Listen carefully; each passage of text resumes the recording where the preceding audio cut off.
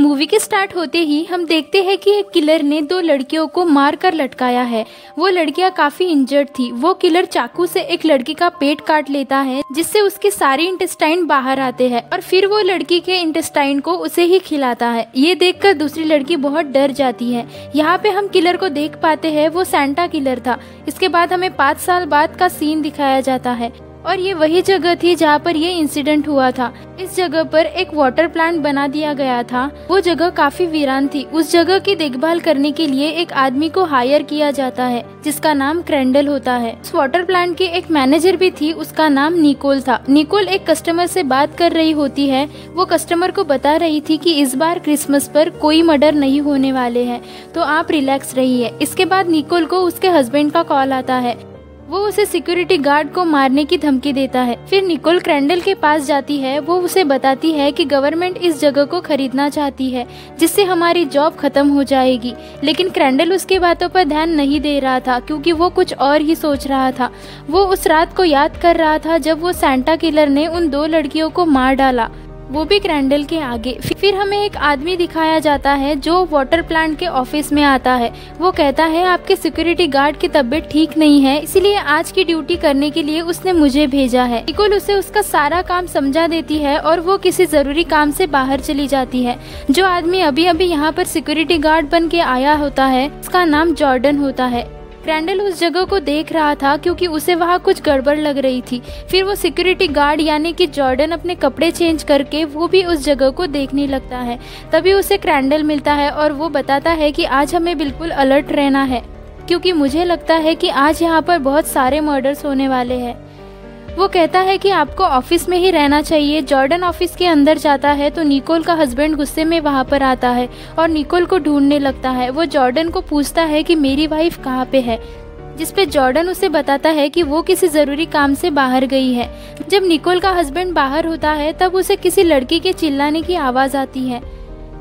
जब वो चेक करने जाता है तो कोई उस पर कुलाड़ी से अटैक करता है, जिससे उसका बहुत सारा खून बहने लगता है और उसकी मौत हो जाती है। इसके बाद हमें एक लड़की दिखाई जाती है, जिससे वो सैंटा किलर उसके घर से किडनैप करता है। फ्रेंडल जॉर्डन को बता रहा होता है कि मुझे पुलिस के थ्रू ये खबर मिली है कि एक लड़की सिटी से गायब हो गई है। क्रैंडल कहता है कि मुझे तो ये उसी किलर का काम लगता है। जिसने पाँच साल पहले दो लड़कियों को इसी लोकेशन पे मारा था। फिर रात को जॉर्डन अपनी बुक लेने के लिए अपनी गाड़ी में जाता है। तब क्रैंडल उसे कहता है कि हमारा बाहर रहना किसी खतरे से खाली नहीं है। अभी उन्हें एक लड़की के चिल्लाने की आवाज़ सुनाई देती है। वो उसी तरफ़ जाते हैं जहाँ से आवाज़ आ रही थी। तभी जॉर्डन को एक लड़की मिलती है जिसे किलर ने बांधा हुआ था। वो दोनों उस लड़की को छुड़वाते हैं और वो लड़की बताती है कि मुझे उस सैंटा किलर ने किडनैप किया है। किलर ने एक और आदमी को प्रिजनर बनाया हुआ है, जिससे वो अपने साथ लेकर गया है। तभी उन्हें पानी में से किसी की आवाज़ आती है। तब क्रैंडल चेक करने के लिए पानी की तरफ़ भागता है। उससे पानी में किसी का कटा हुआ हाथ मिलता है। ये देखकर वो डर जाते हैं। वो लोग ऑफ़िस जाकर छुप जाते हैं। क्रैंडल जॉर्डन को कहता है कि तुम इस लड़की का ध्यान रखो। मैं उस किलर को ढूँढने जाता हूँ। फिर थोड़ी देर गुजर जाने के बाद क्रैंडल वहाँ पे आता है और उन लोगों को भागने के लिए कहता है। जॉर्डन और वो लड़की भागने लगते हैं, लेकिन सामने वाला मेन गेट तो लॉक होता है। बस वो लोग चाबी लेने के लिए ऑफ़िस जाते हैं और जॉर्डन चाबी लेने ऑफ़िस जाता है। क्रैंडल जब उस जगह को चेक कर रहा होता है, तब उसे निकोल एक रूम में बंधी हुई मिलती है। निकोल को वहाँ पर देख कर क्रैंडल को एक आइडिया आता है। वो सोचता है की कि किलर को अपने ट्रैप में फंसाने के लिए मुझे निकोल का यूज़ करना चाहिए। ताकि वो किलर निकोल को देख कर वहाँ पर आए तो क्रैंडल उसे मार सके। ये बात क्रैंडल निकोल को भी बताता है। फिर बाहर उस किलर का वेट करता है। जब वो लड़की गाड़ी में अकेली बैठी होती है, तब उसे अपनी गाड़ी के सामने एक इंजर्ड आदमी नज़र आता है। जॉर्डन को गेट की चाबी मिल जाती है और वो गाड़ी में वापस आता है। वो वो लड़की जॉर्डन को बताती है कि मैंने अभी अभी यहाँ पर एक इंजर्ड आदमी को देखा है जो अचानक गायब हो गया है। जॉर्डन कहता है, अगर वो आदमी इंजर्ड है तो वो ज़रूर किसी मुसीबत में होगा। हमें उसकी हेल्प करनी चाहिए और वो दोनों उसे ढूँढने लगते है। उसे ढूंढते ढूंढते वो ऐसी जगह पे पहुँचते हैं जहाँ निकोल के हस्बैंड की डेड बॉडी थी। वो लड़की जॉर्डन को बताती है कि ये वो आदमी नहीं है जिसे मैंने देखा था। दू, दूसरी तरफ़ उस किलर का वेट करते करते क्रैंडल को बहुत टाइम हो गया था। क्रैंडल अंदर जाके निकोल को खोल देता है और वो दोनों वहाँ से भागने का प्लान बनाते हैं। जॉर्डन अपनी गाड़ी स्टार्ट करता है लेकिन उनकी गाड़ी स्टार्ट नहीं होती।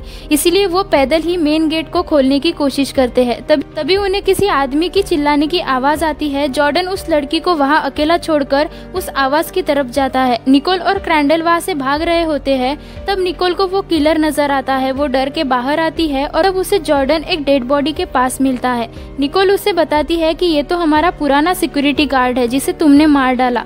जॉर्डन निकोल को बताता है कि मैं तो इस आदमी की आवाज़ सुनकर यहाँ पर आया हूँ, लेकिन निकोल उसकी बात पर यकीन नहीं करती और जॉर्डन को मारकर वहाँ से भाग जाती है। तरफ़ वो किलर उस लड़की को पकड़ के बाँध लेता है। ड्रिल मशीन से उस लड़की के बॉडी में होल करता है, जिससे वो लड़की चिल्लाने लगती है। क्रैंडल उसकी आवाज़ सुनकर वहाँ पे आता है और उसे आज़ाद करने की कोशिश करता है लेकिन लेकिन वो किलर दूर से एक एरो मारता है, वो सीधा उसके मुँह में घुसता है और उसकी भी मौत हो जाती है। निकोल जब भाग रही थी तो जॉर्डन उसे पकड़ के अपने साथ एक जगह पर लाता है और उसे बाँध देता है। उसे बताता है कि मैं कोई गार्ड नहीं हूँ, बल्कि मैं एक एक्टर हूँ, जो अपने किसी मकसद को पूरा करने के लिए यहाँ पर आया हूँ।